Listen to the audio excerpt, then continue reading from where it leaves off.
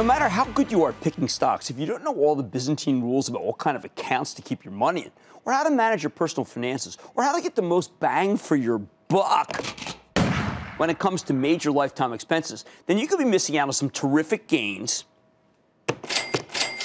or costing yourself a fortune in all sorts of hidden fees.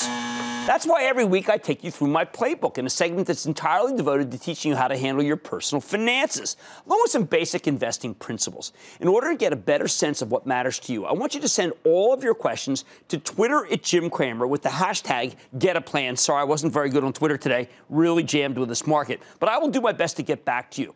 Uh, oh, and while we're at it, it's always worth checking uh, your money CNBC.com. Got terrific financial advice there. I admit this kind of stuff isn't as fun as picking stocks, although on a down day like today, it's not so bad. Over the course of your lifetime, though, it really could help you to build up more wealth than a couple of great stock picks can. And the simple truth is, is that I don't want you leaving that money on the table just because nobody could be bothered to explain, say, the finer points of retirement investing vehicles. With that in mind, here's a question from Mitch, who asks, and I quote, traditional or Roth 401k for grad starting full-time job in 28% tax bracket. Wary of potential tax climate when I'm 65. Boy, that was a good use of Twitter spaces. Now, I know I've talked endlessly about the benefits of using an individual retirement account or IRA for short and a 401k plan to invest for retirement. I've had them both. And I don't want to beat a dead horse here. But we haven't really gotten into the distinction between a Roth account and a regular one. And this is something I get a ton of questions about. Should I put my money in a Roth account or should I put one in a regular account? And is one of them wrong? Mitch asked about a Roth 401k, but only some employers choose to offer these to their workers. So, to set the stage here, let me give you some background on the beautiful tax favored vehicle known as a Roth IRA, which anyone can contribute to as long as they make less than 122,000 a year. I think that aside from the earned income tax credit, the Roth IRA may be the single greatest thing our government has done for lower income families since the end of the war on poverty, where, uh, alas, um, poverty won. I've told you all about how a regular IRA lets you take pre tax income, invest it, and then your gains can compound year after year, decade after decade, totally tax free until you decide to withdraw, start withdrawing money when you've retired.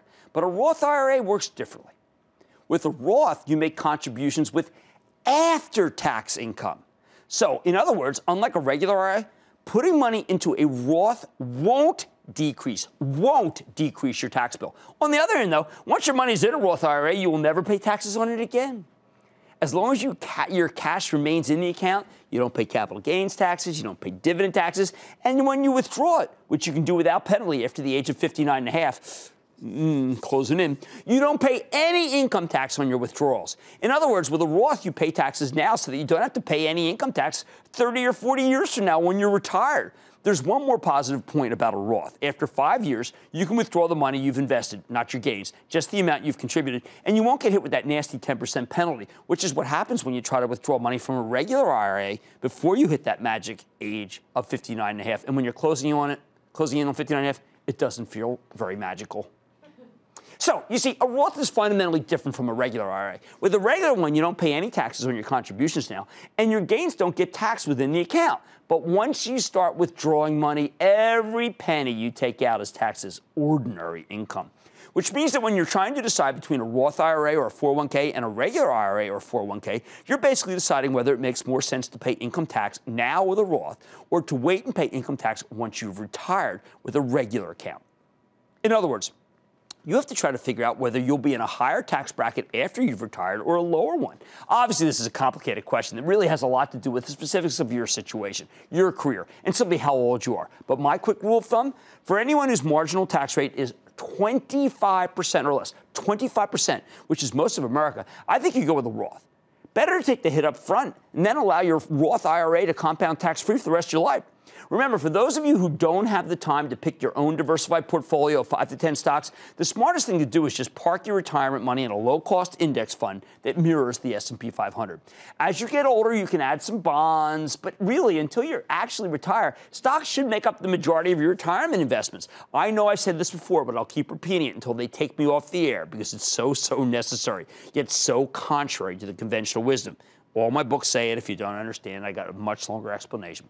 Back to Mitch's question and the idea of a Roth 401k. This works just like a Roth IRA, meaning you make contributions with after tax income, and then you never pay taxes on that money again, except because it's a 401k plan, has a much higher contribution limit, 17,500 per year versus 5,500 for an IRA. And there's one other big difference: you can't take advantage of a Roth IRA if you make more than 122,000 a year single or 179,000 if you're married and filing jointly. A Roth 401k though has doesn't have any kind of income cap. No matter how much you make, you can take advantage of one of these as long as your employer decides to give you the option. Now, Mitch says his marginal tax rate is 28%. That's the point where I'd say go with a regular IRA and a regular 401k because they let you make contributions with pre tax dollars. So the higher your, your current tax rate is, the more valuable you'll find a non Roth IRA or 401k. But he also says he's worried about where tax rates will be when he retires, say 40 years from now. I'll admit, if you believe that taxes are headed inexorably higher over the course of your lifetime, then a Roth 401k where you pay your taxes now and pay nothing in the future is the way to go, even if you're making a lot of money in the present. I think, though, personally, the belief's mistaken. For those of you young people who only became politically conscious under the Obama administration, it may seem like there's no way to stop the tide of higher taxes. But history says differently. And I believe we can close the deficit without substantially raising taxes. My view, not political, mathematical.